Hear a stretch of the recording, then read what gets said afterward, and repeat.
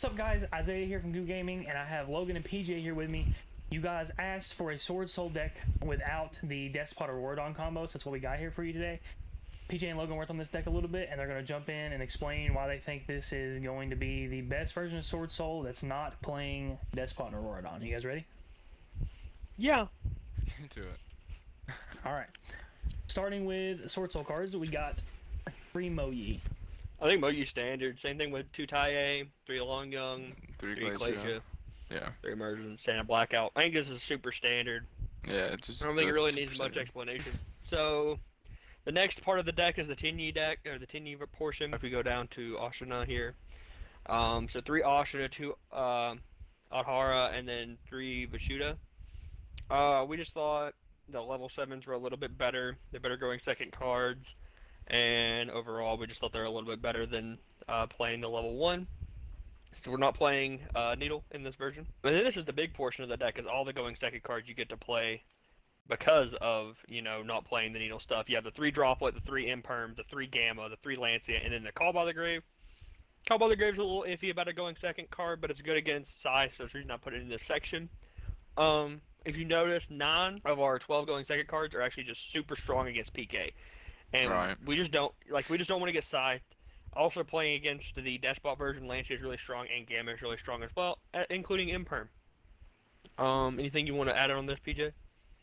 Like, we're really just trying to stop Scythe. Like, that's all we really have a problem with, plus, like, the mirror match. But, like, actually in the side deck, we kind of take care of that. It's not even just Right. for PK either, because like even the virtual deck and everything else is also playing Scythe. So it's not Plus just the like Brave stuff as well. yeah, and it's also just like you build your deck to play around Scythe, but it's not because you're scared of PK. It's because of Scythe, and Scythe is played in almost every deck right now, or all the big decks right now. And if you Right. notice, if we if we interrupt the PK deck, the only thing we have to play through is Fog Blades, which the Tenyi's are really strong at actually playing through Fog Blade because of its Shuda, and Yes. they can't really Fog Blade anything really. As well as this next card, which is Circle. Very Um, important.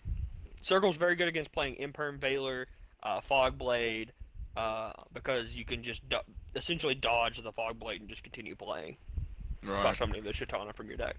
Or well, adding it and then summoning it. And then the last card in the deck's Pot of Desires. We just felt like we are playing 40 without it. Might as well Might as well play it in the deck. Like, if you draw it, it's a plus, you just draw two. If you don't draw it, not that big of a deal. The only thing that you might see that's like different in this list, we don't play Vessel.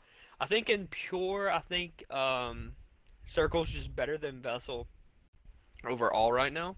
If you're wanting to do this like super heavy going second, you know, a bunch of going second cards and then a bunch of one card starters. Uh, we Just don't play two make sure blackout. go through at the end of the day. Right, yeah, absolutely. And the reason we don't play two blackout is because there's only one desires now. You really don't want to draw blackout going second or going first. You want to search it. Exactly. So we just want to play the one. Never want to see the card. Is there a reason, or do you guys want to explain your reason besi- behind not playing Ash and playing like these over Ash? These are Um, higher impact. And they stop Yeah, Scythe they're just easier. they're just higher impact. Um, the only one I would eat, consider switching out for Ash is Imperm, but Yep. Imperm's nice because you can draw as your sixth card. It's really good. And You can draw Scythe with it? Gamma as your sixth card. You can Yes, draw stops Droplet as your sixth card, and you can draw Droplet as your sixth card, which is really strong. As well as Call by the Grave and all stop Scythe if they don't have you know certain things to stop those cards. So. Yeah, I was gonna say this card's just an auto main deck, I think, and I think these other cards, uh, like you said, drawing them as your sixth is your sixth card still does what it needs to do. If drawing Ash as your sixth card does nothing. Exactly.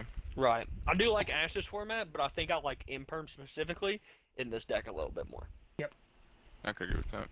You gotta play two Chixiao. This is Yeah. just standard. Same Yeah, thing you with have level to. 10.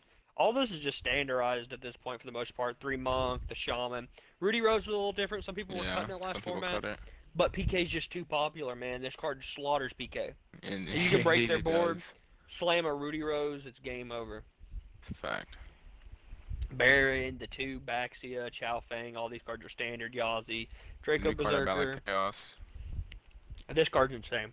Yeah. So against PK, it is very, very difficult to out this card.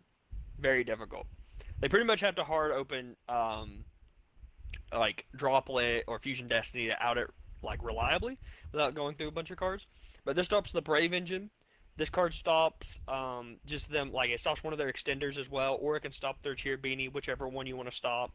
It's just a Stop great card against that deck. too. Yeah, it stops their fog blades. If they activate it, you just banish the fog blade. Doesn't resolve. and with Longyuan, it burns for thirty. Yeah, it Yeah. burns for thirty six hundred if you use both effects. So just the fact that your opponent's only at forty four, and if you look at this deck, like this deck, like Damage. is just all big monsters. Like the entire extra deck is like twenty three hundred or higher on every single card.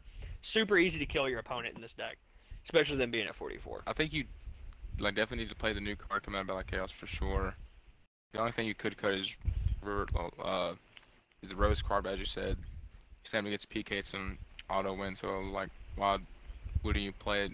Or PK is gonna be one of the most represented decks in the format. All right, going on to the side deck, we have my most hated card, but let's see what you got to say about it. You just need it for the despot combos, I think. Like, I mean, it's not, it's okay against PK. Like, you would obviously probably side it in, but it's mainly for the despot combos, um, because, like, they can play through one to two hand traps a lot of the time, but so you just need more high impact hand traps. Stops the brave cards. Like, a lot of the time, your boards aren't like this unbreakable board, right? Like, you're setting up like one to two interruptions. So, like, having a card like anti spell to make a couple cards in their hand dead that they would use to break your board, like Lightning Storm, Dark Ruler, or whatever. Just kind of helps, just uh, like stun out your opponent and just get the Yeah. W going first. This helps in a grind game too. Right. For sure. Because they're never they're never gonna get get to activate their cards because you're always just gonna like backseat them back to their deck or whatever, right? Yeah. This Obviously, is a back row hate. your back row hate. I feel like Yep. these are all just self-explanatory. Yeah. Um, red reboot, this deck is really easy to kill you with. So if you get red reboot off against Eldlich or other trap decks, you're probably going to win the game. Mm hmm Uh, Dark Ruler, Uh, it's for the mirror. Like Yep. any the Very despot the versions or anything like that, they usually just end with like just a huge board. You hit them with Dark Ruler no more, you could probably break their board really easily. Just the main reason to and play the card. and hopefully win. and going on to the last card we got, we got Rivalry, which I do not see a lot of people playing. Yeah, this card's a little different.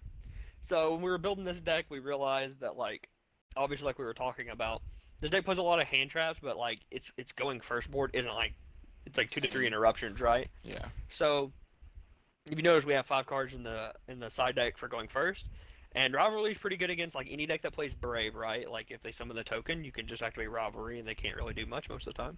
Yeah, because token Um, fairy. So like Right. Um, if you play against even against PK, like even if they don't do that, it's like if you have interruptions plus rivalry, like if you have the, the new level ten really plus. Chixiao, it's very hard to out because like it, it's hard. Like they go break sword, sure, but you can negate break sword, and like they, they don't have a lot of only other cards. thing they could really do is just fuse Fusion Destiny from hand and then Yeah. use Chixiao negate the uh, Ace Enforcer.